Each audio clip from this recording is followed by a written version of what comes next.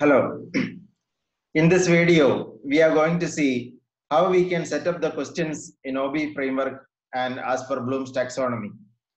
So major problem of our question paper setting is that we address only the first level of Bloom's taxonomy or at the most the second level, remembering and understanding.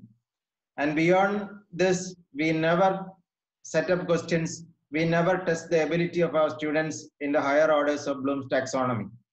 So this with this presentation, I will give you an idea how we can set up the questions in such a way that we can test the abilities, we can test the learning level of our students at higher levels of Bloom's taxonomy. So I'll go to my presentation. So the Bloom's taxonomy level one is remember. And so this is in once we set up the questions in this level, we are testing the ability of our students to remember something. And the key verbs which can be used in this type of questions are memorize, define, identify, repeat, recall, state, write, write the definition of something like that. So if you write questions like this, examples, what is something? How do you describe? Why did something? What is the definition of something? If you ask like this, we are at the level one of Bloom's taxonomy. Then the second level, understanding level. So this level, we are testing the ability of our students to comprehend, understand what they have remembered. So if they are they are understanding what they have remembered, we are at the level two. And if you want to test at this level, you can use the keywords like describe, distinguish, explain, interpret, predict, recognize, summarize, like that. Then some example questions, what factors or ideas to show?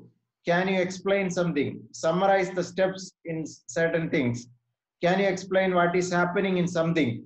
So if you ask like this, you are at level two of Bloom's taxonomy. Then we have the third level, application level. So this level, we are testing the students are and they are remembering something, they are understanding something, whether they are able to apply what they have understood. So this level, if you use the keywords, apply, compare, contrast, demonstrate, examine, relate, solve, and some example questions, what would the result if? What factors would you select to show? What approach would you use to? How would you use? So if you use these kind of questions, we are at the level three of Bloom's taxonomy. And when we move to the level four of Bloom's taxonomy, analysis or relating something to what they have understood. So they have remem they are remembering, they understood, and they are able to apply. And if they are able to relate something in life to what they have learned and they have understood. So we are at level four of Bloom's taxonomy. And if we use the keywords analyze, differentiate, distinguish, explain, infer, relate, research. By using these verbs, you will be able to set up questions at level 4 of Bloom's taxonomy. Some example questions if I give, what inference can you make on something? What is the relationship between uh, maybe a phenomenon and something? Then what evidence can you find? What things to justify? If you ask like this, you are at level 4. And when we come to the level five, evaluation. So evaluation questions encourage the students to develop opinions on or opinions and make decisions about issues based on specific criteria. So the key keywords which may be used, assess, critique, determine, evaluate, judge, justify, recommend like that. So how do you, if you use the questions like how do you select, how do you prove, how do you prioritize, what information would you use to support? So if you like this, you are at the level five of Bloom's taxonomy.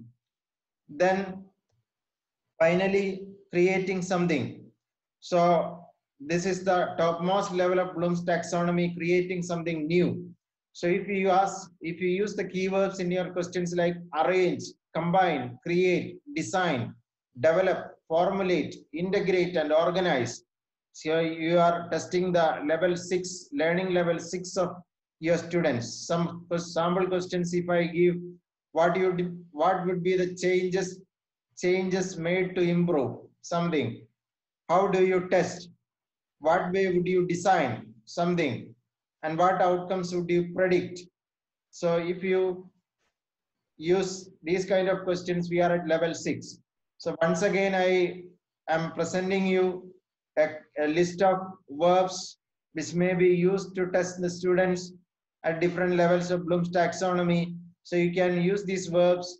So this is not a very uh, a rigid way. So this is only an indicative list.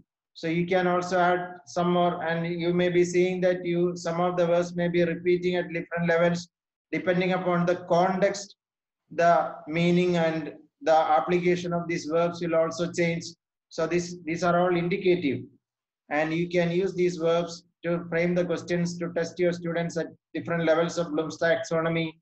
So thank you. Hope you will be able to write your questions so that you will be able to assess your students at different levels of Bloom's taxonomy so that we can assess the higher, higher level skills they have attained in, in our uh, classroom sessions. Thank you.